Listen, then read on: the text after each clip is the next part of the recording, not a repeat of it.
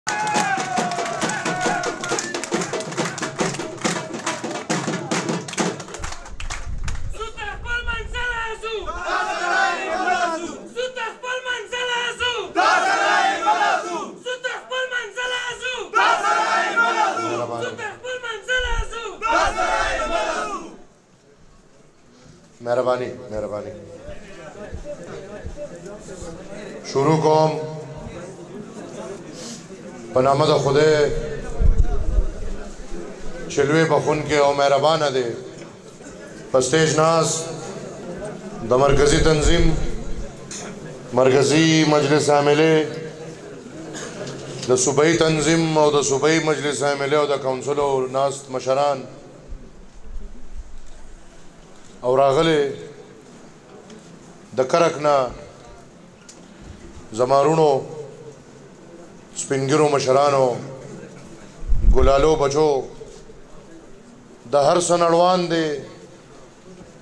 نن نوردراز خان سره چې ملو شوم نو ما ورته وی چې نن د بشیر بلور صاحب خدای دې وبخي دا غار مان سره تا ورسید زه راغله د ټولو مرګرو په وساتت نوردراز خان ګل صاحب خان ډاکټر عمر دراز او راغلي بشمیر د دې مرګري چاته شمانن په دې محفل کې په دې پندال کې ټوپه وانه چولې شوې خو ان شاء الله ګل صاحب خان سره مې دا وعده ده چې کله جلسې ته ورزم نو یو یو مرګري ته به ان شاء الله په خپل لاس د پښتنو دا ټوپه ورچوم زه تاسو ټولو ته عوامي نېشنل پارټۍ ته په راتلو هرکلی وایم مبارکباد وایم او حقیقت دا ده چې ګل صاحب خان ته زه ملامت وم ګل صاحب خان چې کومه خبره وکړه چې زما ورته درې میاشتې مخکې ملاقات شوی حقیقت دا دی چې ما او بابک صاحب بکله هم خبره کوله نو موږ به دا ذکر ضرور کوو خدا الله رضا پدې کې وجنن زمنګ د دوانو هغه ناشته او دا پروګرام یو والی کیږي زه نوردراز خان او ګل صیب خان سره دا لوظ قوم او دا لوست علم چې کوم د پښتو په لار نن موږ یو بل سره ورورولي کوو یو بل سره ودرېږو انشاءالله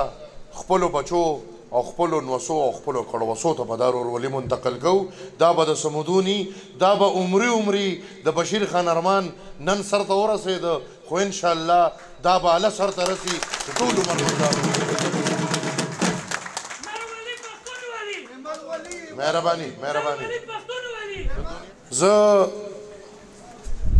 مشکور یم دا غي کسانو چا چې په خپل ژوند کې په ګل صاحب خان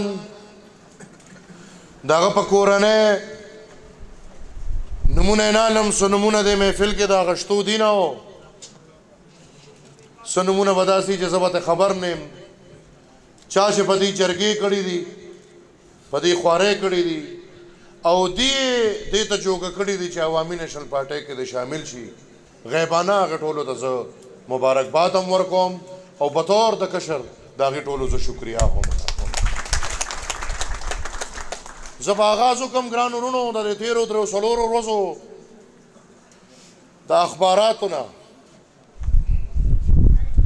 چې روزانه به یو نوې کیسه په جوړه وه الحمدلله دا شمولیت دونه زورورو چې په ډان اخبار کې هم کیسه دا راله چې په کرک کې عوامي نېشنل پارټي په ډلو کې تقسیمېږي زه د خلکو ته اریان یم چې بل څه ورسره پاتې نه شي نو زار ځای کې خاندم اخبارواله خپله کیسه خرڅوي هغه د کاڼي نه اوبه راوکاږي عوامي نېشنل پارټي په ډلو کې نه تقسیمېږي، عوامي نېشنل پارټي او پښتون کور په کور یو کېږي، خلک په دې خپه دي ځکه دا خبرې کوي. دا به د اخبار د پاڼې د حده پورې خبره وي، نور الحمدلله نن دعوامي نېشنل پارټۍ د سوري د لاندې ګل صیب خان کورنۍ، فرید طوفان صیب کورنۍ او د خورشید خټک کورنۍ ټوله په یو ځای، یو لاس او یو موټی ولاړه ده. ګرانو وروڼو! چونکې ما دا ډېر پېژني، زه خبره پټه نه ساتم، د ډېرو خلکو په اړه کې به خبره وي، دا سړی چې ما سره ناست و، زمونږ چې خبرې کېدې، ما ته یې وې څه به کوو؟ ما ورته وې ګل صاحب خانه د دوو خبرو ته ذمه وار یم، په جارې ویم، په میدان کې ویم، د دوو خبرو ته ذمه وار یم، پارټۍ ته رالې کار به کوې، چې څونه کار کولی شې، ستا مخه به څوک نه نیسي، ستا خپې به څوک نه نیسي. او ما ورته وویل چې ګل صاحب خان ورور د پښتو وطن دی، د بل حق تا له نه شم درکولی او ستا حق به انشاالله ټول عمر کې بل سړي له ورنه کړم. دلته چې دا دوه خبرې ما وکړې، ده ماته وویل چې خان زما نور هېڅ نه دي پکار، زما عزت پکار دی سیاسي ورکرم په شوق په مینا د پښتنو د کور تر اعظم او د پښتنو خدمت کول غواړم د باچا خان بابا د نظریه د لاندې کول غواړم او چې زما حق بل له نه ورکه او د بل حق ما له نه راکه داسې سړی ما نه دي ليدلي زه نن تا سره دوا د خير کوم د چا پړه کې کو سونه سوالات دي اوس اخبارونه ډکوي زمونږ د دغه نه بغير څلورمه خبره له خيره نه ده شوي او دا هم ده ګل صاحب خان ان شاء الله وي چې کرک کې په جلسه کوو کرک کې په جلسه نه کرک کې به تاریخي جلسه کوو او هغه ښکاره کوم نه خو دا خلک لګیا دي خواري کوي څنګه چې صدر صاحب وویل دا د باران اخري څاڅکي نه دي دا د باران آغاز دی کرک کې طوفان روچت شوی دی دا د باران آغاز دی دا څاڅکي لا شروع دي ان شاء الله دې مرګرو ګل صیب خان او بابک صیب دې او طوفان صیب دې نورې رابطې روانې دي کرک کې به جلسه کوو خو چې کله هغه جلسه کوو نو د دې خلکو دا مازغه به خرابېږي بیا به د اخبار والا نه پېږي چې اوس څه ولیکو سیاسي ورکر دې د اشارو په خبرو پې شي دا د شمولیت او تسلسل دی او موږ د پښتنو خدمت چې څنګه میړه دی دغه سمې ایمان دی چې د هر پښتون به داړی چې موږ به د دې خاورې خدمت بې لوزه بې لالچه او بغیر د ذاتي غرض نه کوو د بابا په لار روان د دې خاورې د بقا او د پرمختګ خبره به کوو نو دې کې دا کومې خبرې دي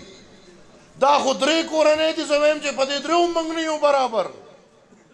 داسې به درې زره کورنۍ نورې شاملوو، پښتنو کې به اتفاق او ورورولي راولو، هله به موږ خپل حق ګټو او هله به موږ خپل پرمختګ کوو. زه ګرانو وروڼو په دې موقع د زړه د کومې خپل د زرې صدر له مبارکباد ورکوم تاریخ لیکل کیږي کرک ضلع انشاالله د باچاخانه دور ته روانه ده او دا د صدر شانواز په دور کې روانه ده زه ورله مبارکباد ورکوم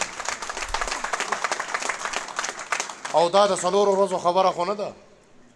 من خو په یو بل مړیږو نه دا خو به ان شاء الله دا مې ایمان دی چې د بابا په لار روان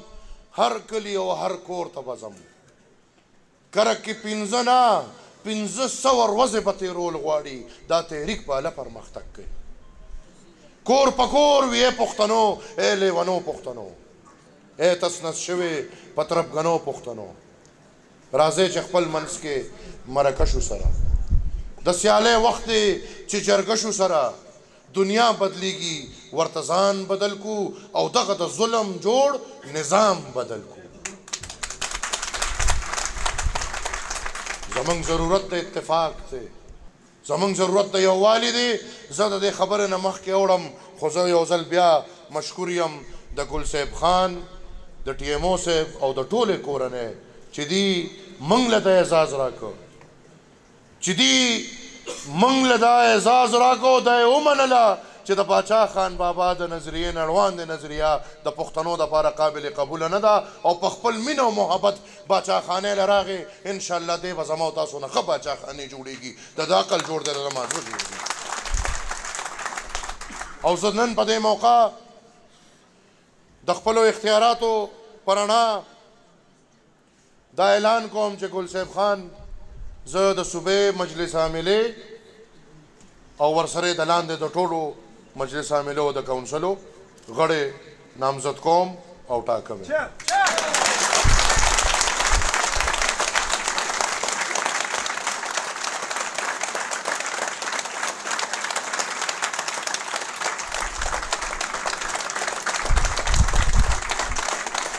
ګرانو وروڼو،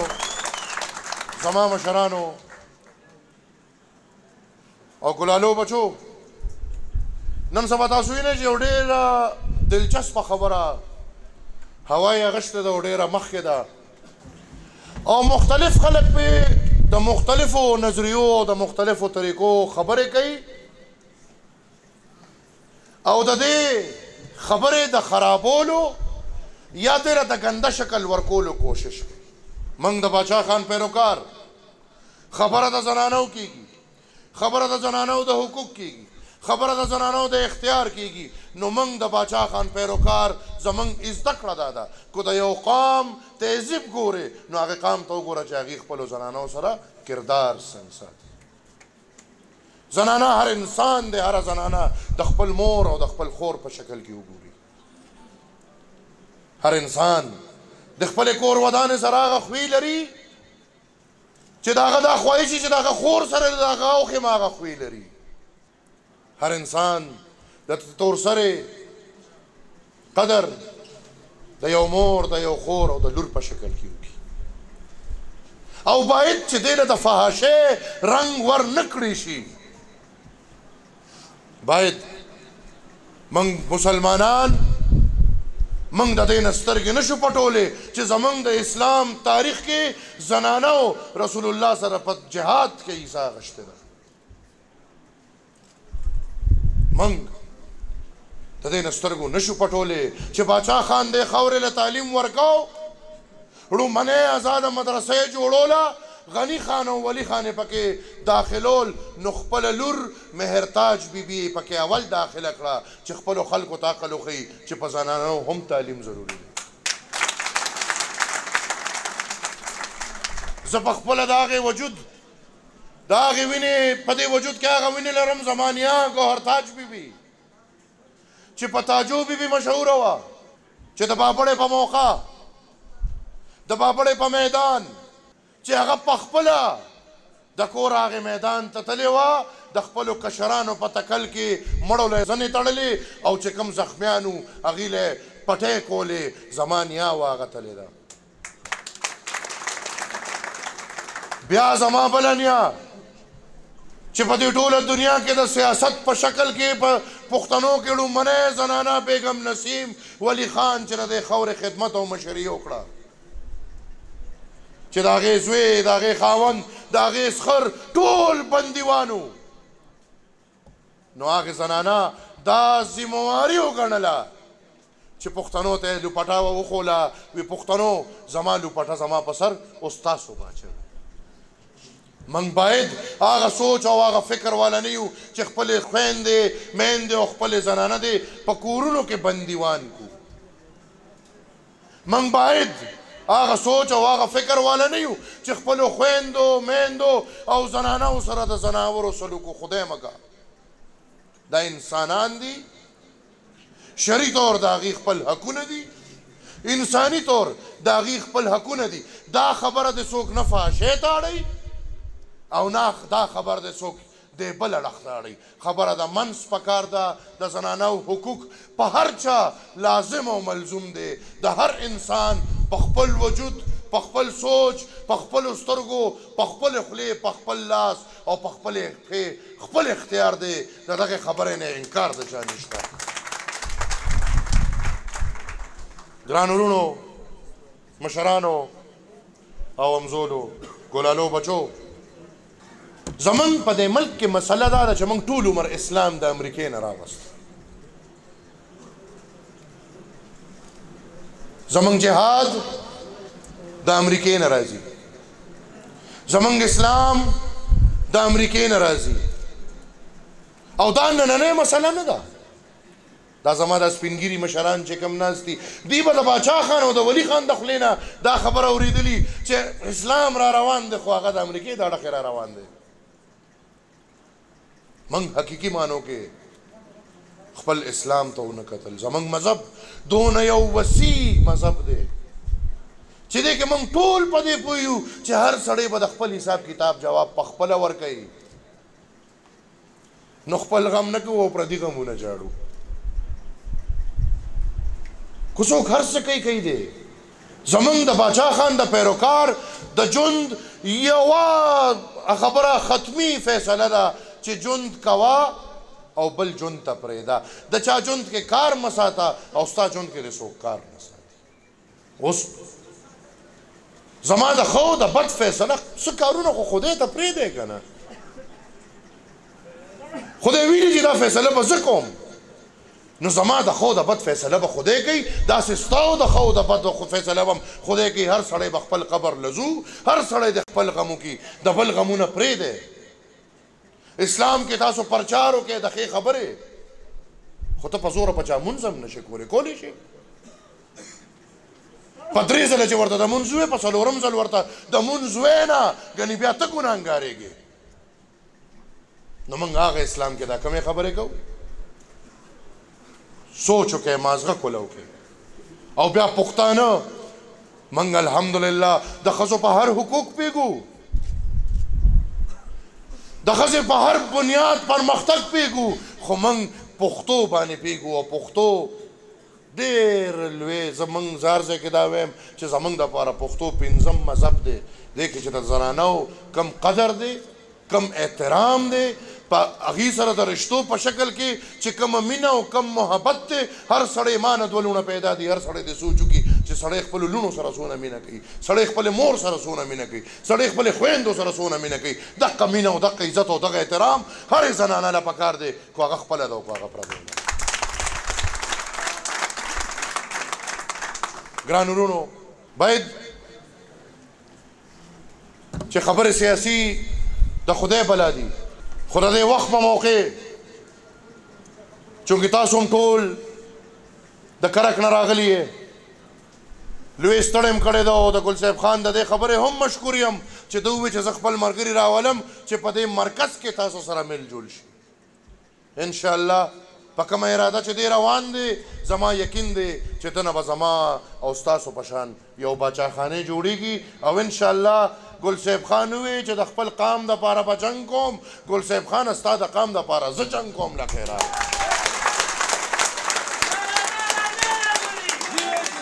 ستا د حقوقو جنګ زه کوم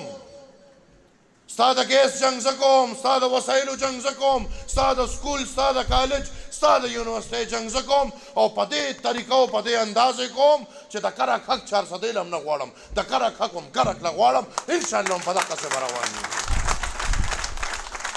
دا زموږ د پښتنو حق دی، وسایل دي او دا زه هر ځای کې وایم،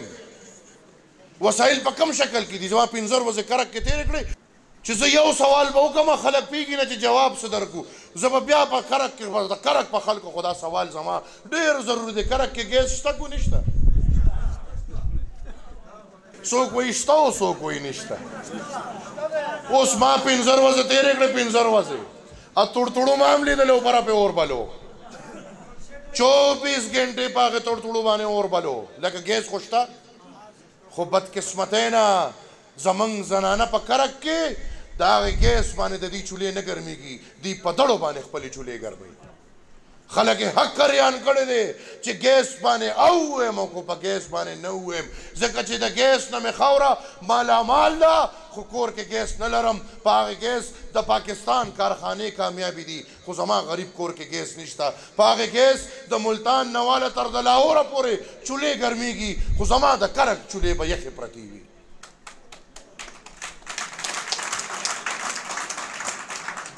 دا تش یو ګیس دی دا چې زمونږ په دې پښتونخوا خاوره د دنیا وسایل دي ګیس شته تیل شته یورینیم شته دا دی په دې باجوړ کې یو کاڼی راوځي نیپرایټ ورته وایي چې په لس او په دولس کروړو روپۍ یو یو ټرک خرڅېږي په سوات کې زمرد روزي چې دنیا کې پنځه قیمتي کانې دي هغه کې یو زمرد دی اوبه ګوره زمونږ پښتونخوا کې هم تیری دي پنجاب کې هم تیری دي سند کې هم تیری خدای مال دا موقع را کړې چې د غرونو نه را روان کړي چې بجلی جوړوم ارزان ترینه بجلی جوړوم او تاسو پښتنو کورونه مرنا دي کو تیری دي پکې جنگ د دې وسایلو یو خو یو سوچ یو فکر چې د انګرېز د وخت نه راروان نه راروان دی او تر دې وخت پورې د دې غلام ابن غلام د دې پنجابي او پنجاب کې هم د دې مخصوصې ټولې په شکل کې په دې سوچ چې د پښتنو د پښتنو د بچو وسايل وړو او خپل بچي پرې مړوو او ولي خان بابا به په خپل تقرير کې وې وي هغه انګرېزان خو پخوا به دا شوملې په چاټو کې کېدې هغه کې چې به شوملې او شوې مشره خو کولې کوچ په پیدا پاسه جوړ شو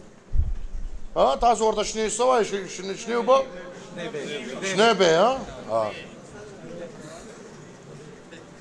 نو ولی خان بابا به وی انګريز ډیر خو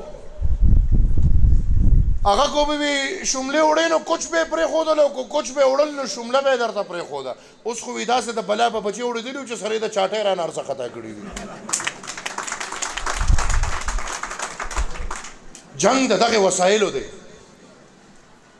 یو خوا دغه سوچ او بل خوا د باچا خان بابا د نظریې او د فکر دا پیروکار چې هغه وي چې د بل حق په موږ حرام،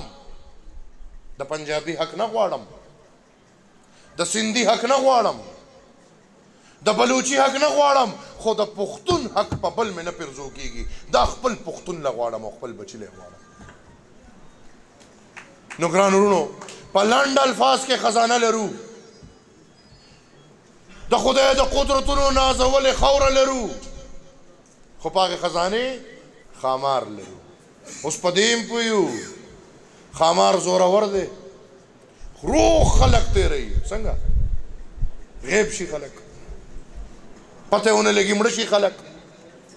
ښامار دونه زورور دی چې د چا تصور هم نه کېږي، خو د باچا خان پیروکار او د هغه عقیده دونه مضبوطه ده چې له دغه زورور ښامار نه لوی زورور دی راشي، دی ورته خپله لار نه پرېږدي. نو ګرانو وروڼو په تاسو یو تپوس، یو سوال، آیا تاسو خپلې کوڅې او کلي اباد غواړئ؟ تاسو خپل بچو لپاره تعلیم او صحت غواړی؟ تاسو خپلې علاقې خپلو ځوانانو لپاره نوکرۍ غواړی؟ تاسو کارخانې غواړی؟ ګیس او بجلی غواړی؟ دا هر څه چې غواړی نو دا هر څه تاسو لری؟ خو بدقسمتۍ نه اختیار پرې نه لرئ. هغه اختیار درنه په یو شکل او په بل شکل نور خلک وړي. راځئ چې دې ځل ایمان تېر کړو، کور په کور ځم ګرځم، هر سړی به راسره کور په کور ګرځو چې دې ځل داسې داسې پښتو وکړو چې دا فوجیان نه چې نه دې هغه پلاران هم راشي خو چې زموږ مېنډېټ زموږ نه یو نه شي. راځئ چې هر کور ته لاړ شو، هرې حجرې ته لاړ شو، هر جومات ته، هر بېټک ته، هر کلي ته، هر بازار ته لاړ شو، د بابا پیغام ورسوو، پښتنو سره مینه، محبت، اظهار، هر سړی به د خپل وس خواري کوو او ان شاء الله، ان شاء الله او زه یو ځل بیا وایم ان شاء الله. په دې ارمان ډېر خلک د خاورو لاندې شو چې د باچا خان تحریک ختم شو په دې ارمان ډېر خلک د خاورو لاندې شو چې عوامي نېشنل پارټي هم ختمه کړه راشه پېښور کې د کرک ضلع یو جلک وګورئ پېښور کې د کرک ضلعې یو جلک وګورئ، تاسو د بنګړو او لوپټو واله له خیره زما پارټي نه شئ ختمولی. دا پارټي به انشاالله ورځ پر ورځ په مخ کې ځي. انشاالله عقیدتمند داسې زما ځوانان وروڼه، روځ په روځ را روان دي زما صوباي تنظيم ماته مخامخ ناست دي ټول لګيا دي ښه منډي وهي ان شاء الله تاسو وکتل يو شموليت د پيښور مطابق ان شاء الله سيټ کيدو والا دي داسي په دي ټوله صوبه کي يو غوبل به وي او دا غوبل به تيريږي تر دغي حله پوري به يي تيروو چي که څوک زموږ مينډيټ په ټول غواړيم چي دا مخونه يي تور کړو او واپس وليږو خو زموږ مينډيټ پټ نه کيږي زه یو ځل بیا مشکور یم د ټولو مرګرو مشرانو د امزول ورونو د ګلالو مشکور یم د پارټۍ د تنظیم د خورشید خان د طوفان صاحب او د ټولو د اړخه ګل صاحب خان ته نور دراز خان ته او ډاکټر عمر دراز صاحب ته او د دوی ټولې رورولۍ، کورنۍ، ملګرو، رشته دارو ته، عوامي نېشنل پارټۍ ته په راتلو یو ځل بیا هرکلی وایم او دا لوظ به ورسره کوم او دا لوظ به راسره کوي چې دا لاسونه به ماتېږي خو ان شاءالله دا به یو بل نه جدا کېږي.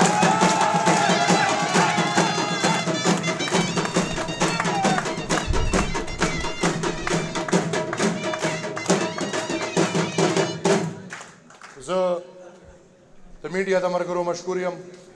د ما د ګډو الفاظو معذرت کوم کرک نه چې کوم میډیا والا راغلي دي د هغوی هم مشکور یم او سمې کیسې لیکئ ښه موږ پښتانه یو داسې ورورولۍ هم دي چې انشاءالله دنیا ته به یې ښایو ښه دا خبرې مه کوئ خلکو کې غلطې افواګانې خورېږي زه اجازت غواړم د غني خان په دې نظم وي ښه دا اوس د غني واوره په صفا ساده پښتو کې ما له نه راځي خبرې په چل ول او اشارو کې وي ما ته څه مغل مغل کې رک مغل او رک یې کورت دی ولې نوم د هغه نه اخلې چې د نن په اوږو سور دی د پښتو لاره صفا ده په کې هیڅ څوک نه پریوزي هر پښتون د ایمل پلار دی خو چې یره ترې نه وزي وي ای زما ننګیالي قامه ولې پروت یې په ایرو کې د چا یاره نن خاني کوي ستا د پلار نیکه حجرو کې تا نه هیر شو چې یو وخت کې لکه باغ ډک د رڼا وې ټول جهان د ژړۍ شپه وه تې ستوري د سبا وې د دې سرو ټیکرو لاندې پټې لوې خزانې دي د دې خاورې تندر جوړ کا په پښتو کې دا کمال دی د خټک د نرې ږیرې هر وېښته خوشحال خوشحال دی. وي چې غیرت توره ته لاړ شي د زمري نه جوړ ګیدړ شي د ګیدړ په شان ژوند تېر کړي د ګیدړ په شان ترې مړ شي د تاریخ زړه کې روښانه